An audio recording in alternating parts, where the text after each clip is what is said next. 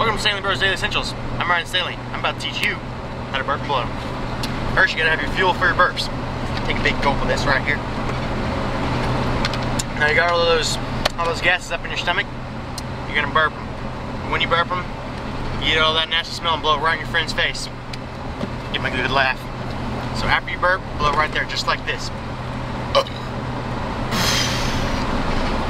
And remember, don't try this with farts.